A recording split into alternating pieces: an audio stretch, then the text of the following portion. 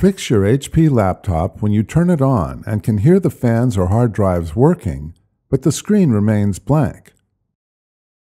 Reset the laptop to attempt to resolve a blank screen.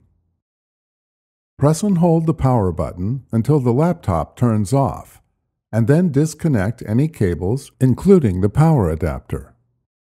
If your laptop has a removable battery, slide the battery release latch and then remove the battery. Press and hold the power button for 15 seconds. Reconnect the power adapter to the laptop and a wall outlet, but do not reinstall the battery if you previously removed one. Press the power button to turn on the laptop. If the screen remains blank, continue to the next step. Test the laptop video card by connecting to an external monitor or television if you have one available.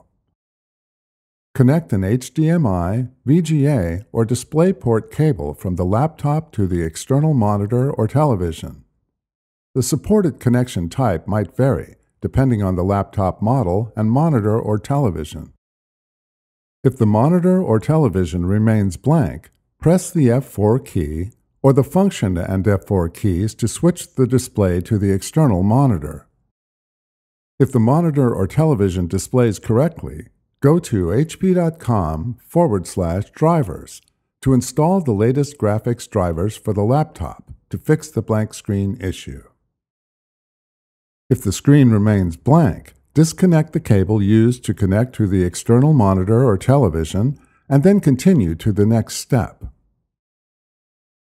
Recover and install the last working version of the BIOS during this process, make sure the laptop is plugged into a wall outlet.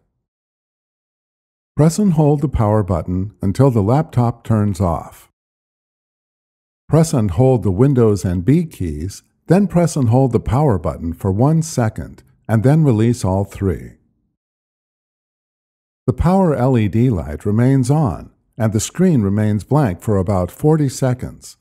If the HP BIOS Update screen displays, the issue is resolved.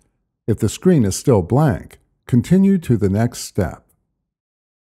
If your laptop has a panel to access the memory, reseat the memory modules to make sure the connection is secure. Disconnect the power adapter from the laptop and power source. Press and hold the power button until the laptop turns off. Remove the access panel and set it aside.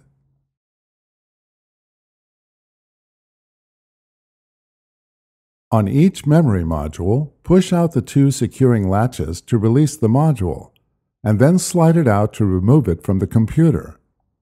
Avoid touching the metal contacts when handling the modules. Reseat the module in the bottom slot and slide it into place.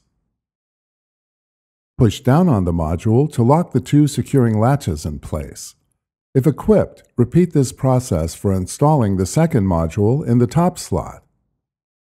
Reinstall the access panel.